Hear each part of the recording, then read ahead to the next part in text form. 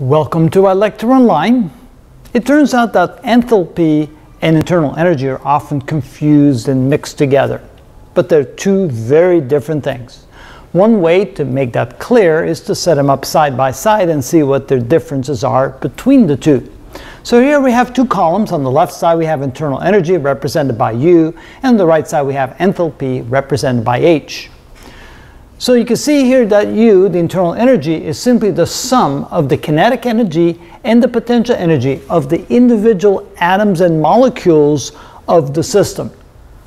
As opposed to enthalpy, which is the heat, Q stands for heat, absorbed or expelled during a chemical reaction. So enthalpy is the exchange of heat. Internal energy is the content of heat. So by that alone, they're very different. Here you can see that when the internal energy goes up, well, it goes up when Q is absorbed. So when heat is added, internal energy goes up. When heat is removed, internal energy goes down. Here, we can see that Enthalpy is positive in an endothermic reaction, means when heat is absorbed by the reaction, we have a positive enthalpy, and a negative enthalpy means that there's an exothermic reaction, heat is removed from the reaction. The equation says that the internal energy of a gas is equal to the heat added to the gas minus the work done by the gas. Here we can see that enthalpy equals all of the internal energy plus the energy required to make room for the system. And so therefore you can expect enthalpy to always be larger than the internal energy, presuming that there's always going to be some need for expansion, push against the environment when heat is added. Internal energy is used on closed systems Enthalpy is used on open systems, so there's a very big difference as well. Closed systems means that there's only an exchange of energy. An open system is that we have an exchange of energy and an exchange of matter as well. The units, we use joules for energy, so therefore joules for internal energy, and the unit that we use for enthalpy is joules per mole or sometimes kilojoules per mole. It is a state of matter and why can we say that? Well, since internal energy is a function of temperature, and temperature is a state variable, so therefore it's a state of matter. It's whatever the state, the matter, whatever state the matter is in. Notice that enthalpy is simply an energy exchange. So one gives you the state of a matter, how much energy contains, the other one tells you how much energy was exchanged. They're both state functions because they both depend on state variables.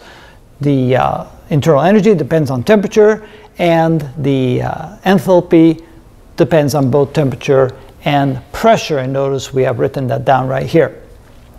Also, they're both extensive properties. That means that both things can be measured.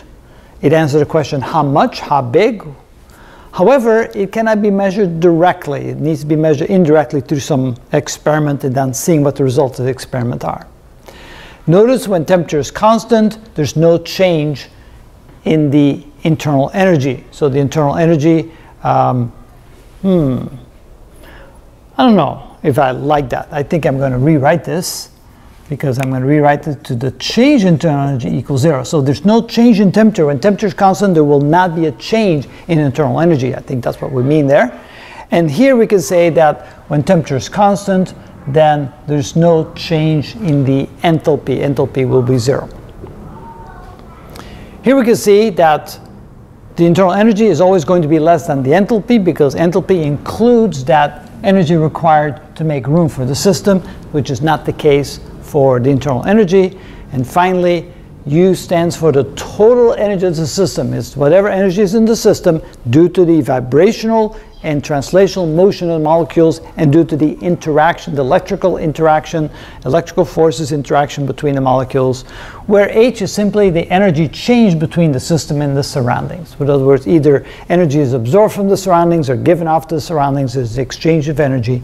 And by that, you can see that the two entities, internal energy and the enthalpy, is they're both very, very different and for very unique situations, one cannot be equated to the other, even though there are equations that make them relative to each other, right? So here we have the internal energy within the equation belonging to enthalpy, but that doesn't mean you can turn one into the other. And that is how it's done.